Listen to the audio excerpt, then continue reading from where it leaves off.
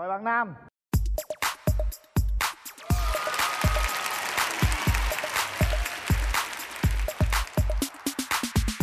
Ngồi đi bạn. Mời bạn nữ.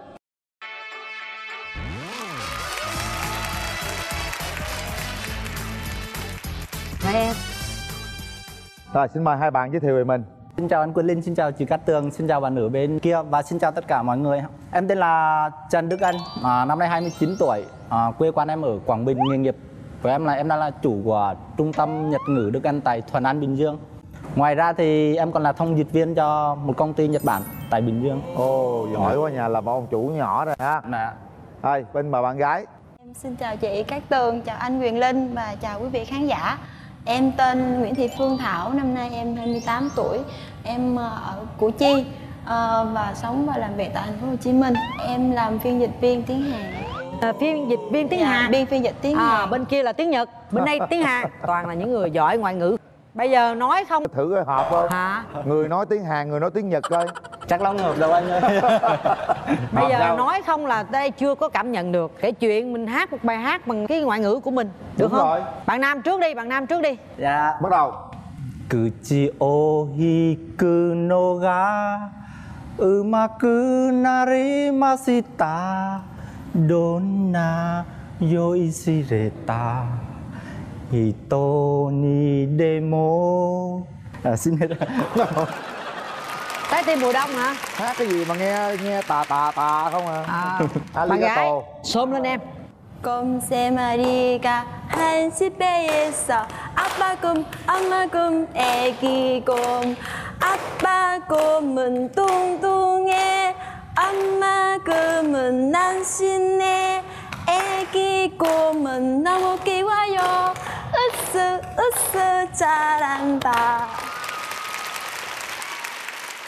Rồi bây giờ tiếp tục.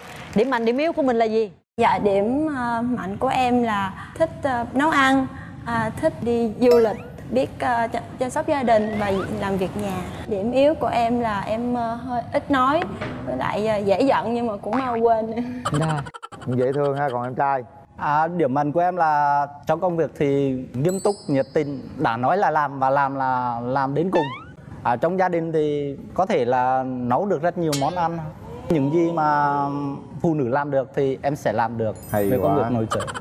có những điều phụ nữ làm được mà mình không thể làm được Dạ vâng, nhưng em nói là ở trong nội trợ, trong nội trợ trong gia đình dù nấu ăn hoặc là quét dọn nói chung chuyện gia đình em làm tốt hết làm tốt hết. rồi điểm yếu là gì Điểm Điểm yếu. yếu thì có một cái mà em thay đổi hoài mà không được đó là ừ, dễ tin người. Ví dụ như à, người, người ta à, than khổ than nghèo rồi mượn tiền mượn bạc gì đó em chỉ gặp một hai lần em cũng cho mượn luôn. khổ quá em ơi. Bữa nay là mình muốn tiền điện tiền nước cho anh mượn 5 triệu đi em. Có không? Dạ có tí nữa em sẽ cho. hả? Nhớ nha nhớ nha chị cũng khổ quá em ơi.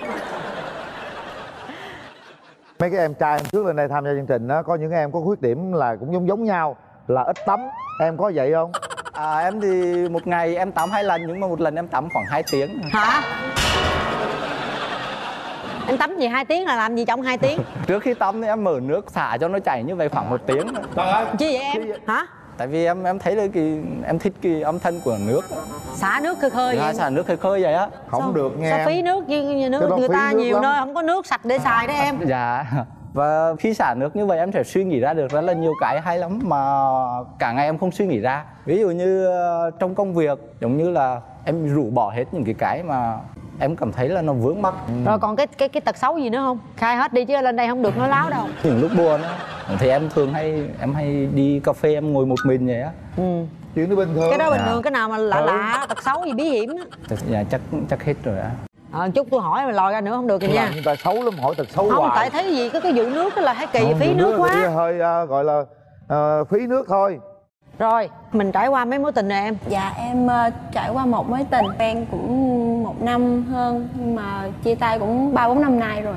Bạn trai mình có mấy mối tình rồi em Nhà em có hai mối tình ạ. Mối tình đầu tiên kéo dài 3 năm thì lý do chia tay là đúng người nhưng mà sai thời điểm. Cái thời điểm đó thì em còn đang muốn phấn đấu cho sự nghiệp và bây giờ sao Dạ bây giờ thì hiện tại em đã ổn định hết. Mối tình, tình thứ hai thì không hợp, vừa mới tiến đến thì bật lùi luôn. em muốn tìm một người yêu thế nào à, truyền thống pha lẫn chút hiện đại khó tức vừa mặc áo dài vừa vừa mặc quần tây á hả có nghĩa là truyền thống thì sẽ biết nấu ăn biết à, quan tâm chăm lo cho gia hiện đình. đại cũng biết nấu ăn vậy. À, hiện đại thì có thể là thích đi du lịch rồi là thích à, giao tiếp với bên ngoài đó là pha lẫn chút hiện đại. À. Dạ. rồi em có cho người yêu em là nhuộm tóc sơn móng tay móng chân hay là mặc quần áo ờ, gọi là thoải mái chút xíu không? Những cái đó là ok không vấn đề gì nhưng mà xăm thì không được. Sắp một tí gì đó ở chỗ nào đó cũng không được ạ. không được luôn. Nói chung là không thích xăm mình. Không thích xăm mình. Rồi bây giờ bạn gái muốn tìm mẫu người yêu lý tưởng thế nào em? Cao hơn em cũng một mét bảy. Không bị hói không được mập quá. Một người đàn ông của gia đình. Ừ. Không có gia trưởng. Ừ.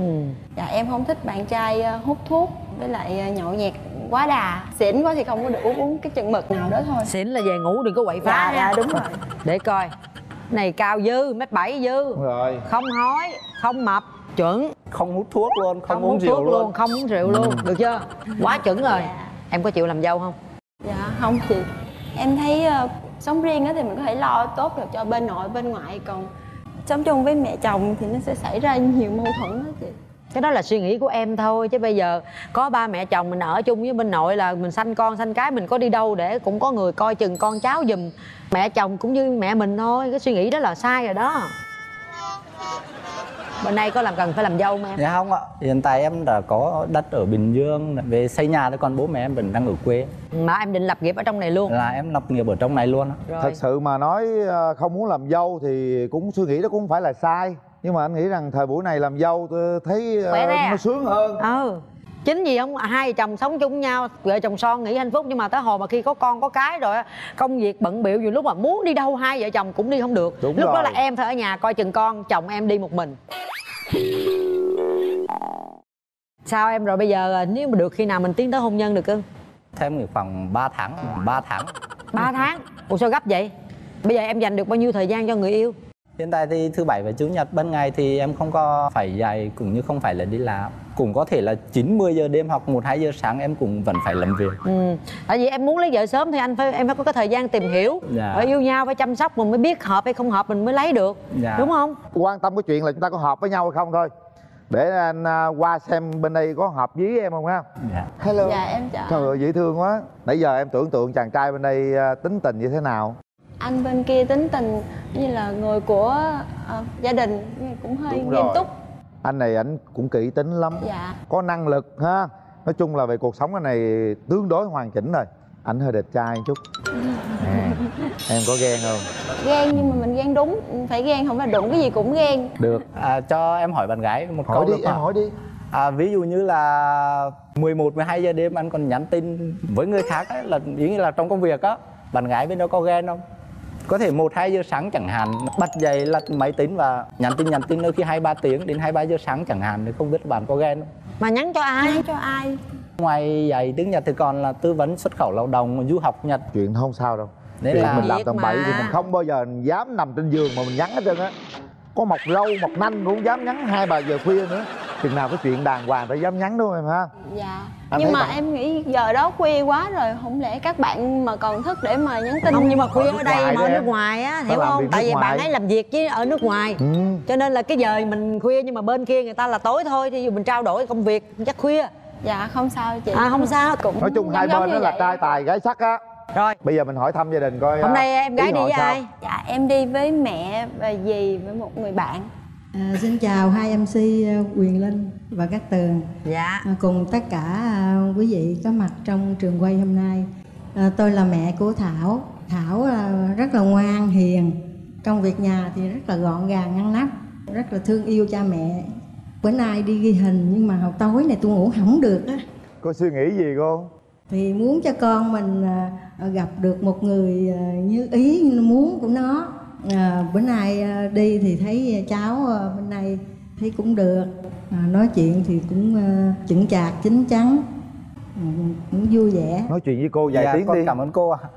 À, cô mong hai đứa cho nhau cơ hội rồi tìm hiểu nha. Dạ con cảm ơn cô ạ. rồi em đi với ai À, em đi với em trai của em Đầu tiên thì em xin chào anh Quyền Linh, chị Cát Tường và chào chị gái. Em là Chiến, em trai của Đức Anh ạ. Chị gái bên đây ạ, thì ngoài hình khá là dễ thương, tính tình có hiền lành, ít nói. có thể tìm hiểu anh thì có thể hợp còn nói về em trai em á, là một người rất là tuyệt vời á câu chốt của em là qua gặp chị thì à, bấm nút hẹn hò với chị dâu luôn nha anh. rồi rồi chúng ta chuẩn bị kéo hàng rào cho hai bên gặp mặt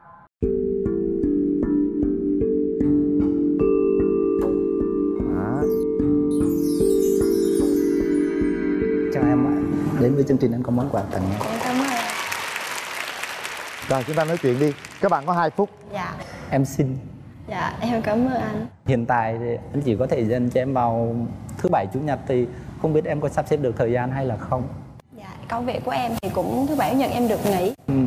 cũng cuối tuần em cũng rảnh. Ừ. hiện tại em đang làm việc ở đâu? Em làm việc ở ờ, phú nhuận.